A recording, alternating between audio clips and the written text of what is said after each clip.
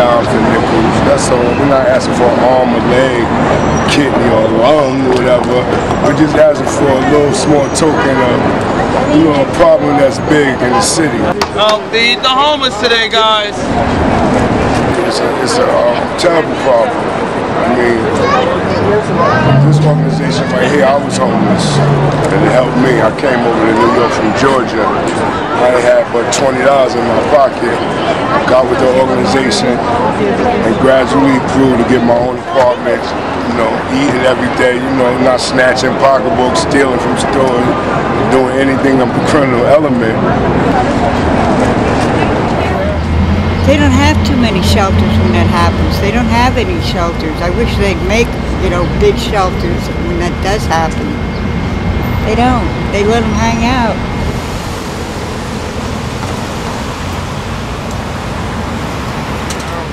You got about 38 million homeless out there. 38 million.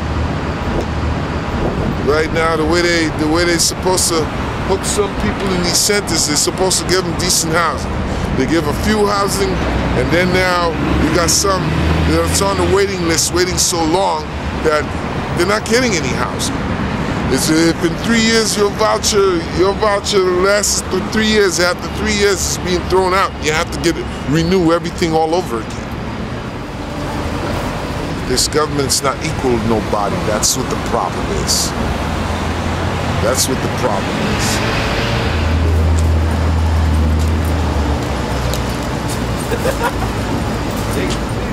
I had my job for a while, lost my job, wind up in wind up in jail, hustling, and and wind up homeless after that.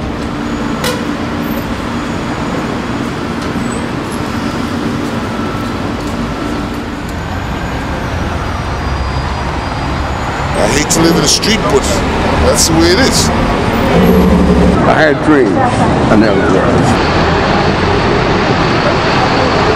My cause is unknown because I never had a, a mother or father, and I don't have any no relatives. But I believe that there's a cause that keeps me believing that people are important and that there's a, there's a reason for living, even though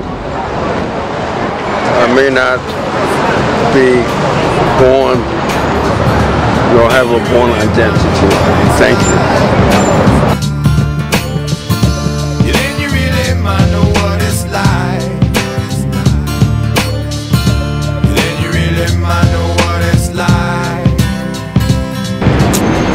Three times a day, wash my butt, uh, pays my storage rent every month. That's all. Mary got pregnant from a kid named Tom. Said he was in love.